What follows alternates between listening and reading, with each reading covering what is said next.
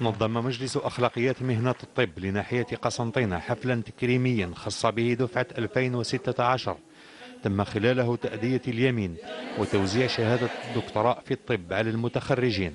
اليوم يتكلل سبع سنوات من الجهد والتعب والامتحانات والتغرب عن البيت. إحنا الأغلبية تاعنا بعد عن الدار.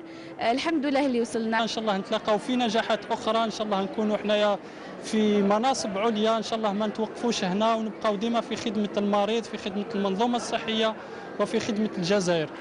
الحفل التكريمي كان ثمرة لمجهودات بذلها الطلبة طيلة سبع سنوات من التكوين كما كان فرصة لتذكير المتخرجين بالمسؤولية الملقاة على عاتقهم. نحسس هؤلاء الأطباء بهذه القيم باش ما تكونش هناك غلطات في الممارسة اليومية تاعهم سواء في المستشفى أو حتى في العيادات الخاصة. من أجل مشاركة المتخرجين فرحتهم فإن عائلاتهم كانت حاضرة بالإضافة إلى المؤطرين وإطارات كلية الطب والمؤسسات الصحية لناحية قسنطينة.